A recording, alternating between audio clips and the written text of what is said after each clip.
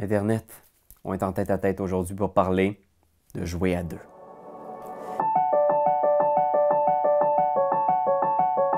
Donjon Dragon, c'est le genre de jeu qui est conçu et qui est créé. Les, créateurs ont en tête que vous allez être au moins 5. Un maître du jeu et quatre joueurs. Donc, euh, le, le classique groupe, c'est un voleur, un mage, un guerrier puis un prêtre.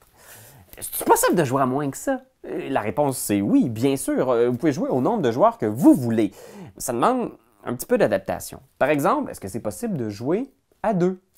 Un joueur, un maître. C'est tout à fait possible. C'est même extrêmement intéressant. Ça peut être un outil, les sessions solo, que vous pouvez utiliser dans n'importe quelle campagne. Moi, par exemple, les sessions solo avec un seul joueur, euh, je les utilise beaucoup à la création du personnage.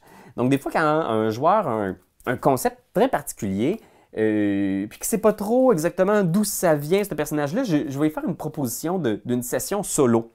Donc, je prends certains de ces éléments de son passé de personnage et je les mets en scène. Donc, il les vit. C'est une bonne façon de découvrir le personnage avant de le confronter à un groupe, à d'autres personnages.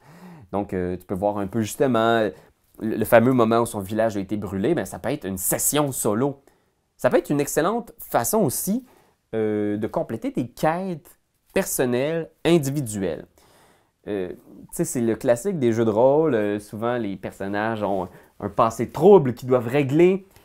Mais des fois, ça donne juste pas d'aller voir qu'est-ce qu'il en est de la tombe de ton père à l'autre bout du monde.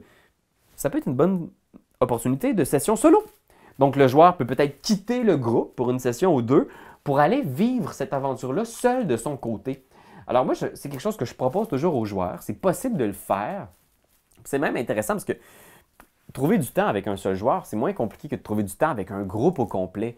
Alors, c'est cool parce que tu peux créer un petit truc sur mesure pour ce personnage-là. Ça peut être une bonne façon aussi d'expliquer ce qui est arrivé avec un personnage pendant son absence. Donc, si un joueur ne peut pas être là pendant plusieurs sessions parce qu'il il voyage ou il travaille, peut-être que vous pouvez continuer à jouer avec le groupe régulier et qu'à son retour, vous avez une petite session solo pour expliquer qu'est-ce a fait lui pendant ce temps-là. Puis ce qui est cool là-dedans, c'est que quand il, retrouve son groupe de joueurs, ben, il y a des nouveaux items magiques, il y a des nouvelles connaissances. Peut-être qu'il a rencontré des personnages qui vont être pertinents un peu plus tard dans la campagne. Donc ça, tout ça, là, c'est vous créez quelque chose, vous créez des nouvelles dimensions à votre monde. Puis ça, je trouve ça vraiment passionnant. Euh, il y a aussi les gens qui veulent jouer en solo, donc euh, un maître, un joueur, euh, parce qu'il n'y a pas d'autre façon de jouer. Des fois, trouver un groupe, un gros groupe pour jouer, c'est pas évident. Puis des fois, les gens sont pas euh, toujours prêts à se lancer dans l'aventure Donjon Dragon. Alors, ça se fait-tu?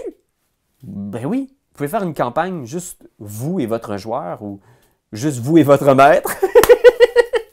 Tant qu'il y a un maître et un joueur. Euh, il faut adapter un petit peu parce que bien sûr, comme le jeu a été conçu pour un groupe de spécialistes, si votre joueur est un magicien, ben, ça se peut qu'il trouve ça difficile dans les situations de combat, surtout bas niveau. Alors, pour combler les vides, ce que je vous propose, c'est d'introduire des personnages non joueurs. Alors, euh, supposons justement c'est un magicien, ben, peut-être que vous pouvez introduire un paladin, qui est un de ses bons amis, qui peut non seulement le guérir, mais aussi euh, amortir le dégât, puis fesser un peu. Euh, c'est une bonne façon, mais il y a aussi la possibilité de proposer à votre joueur de faire plusieurs personnages. Et je l'ai fait, ça fonctionne vraiment bien. Si vous avez un joueur qui est à son affaire, qui connaît bien les règles, qui connaît ses personnages, ça se fait parfaitement. Concentrez-vous surtout sur les, euh, les côtés du jeu qui sont un peu plus euh, puzzle, dungeon crawl, combat. Il y a toujours possibilité de faire des, des trucs euh, sociaux en ville, euh, mais c'est sûr que c'est plus intéressant à plusieurs à ce moment-là, mais tout l'aspect dungeon crawl, combat se fait très, très, très bien. Un maître, un joueur. Puis sinon, est-ce que ça se fait de jouer encore moins de joueurs, jouer tout seul? Comment tu je fais-tu? Ben regardez, j'ai... On, m'a fait découvrir ça de- dernièrement. Ça s'appelle Dans le nid du mal. C'est une euh, session de jeu de rôle en solitaire.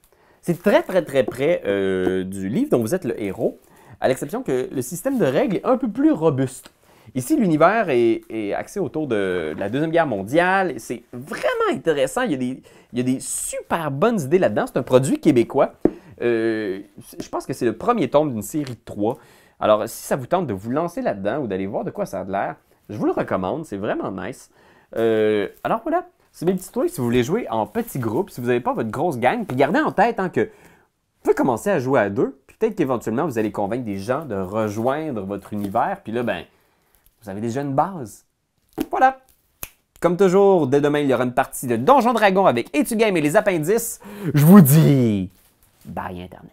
Quand t'aimes quelque chose, tu donnes des bisous dessus. Mais comme c'est un ordinateur, tu donneras pas de bisous. Tu vas plutôt commenter, puis tu vas partager. Oh oui, partagez, partagez, partagez. C'est la leçon de Jésus!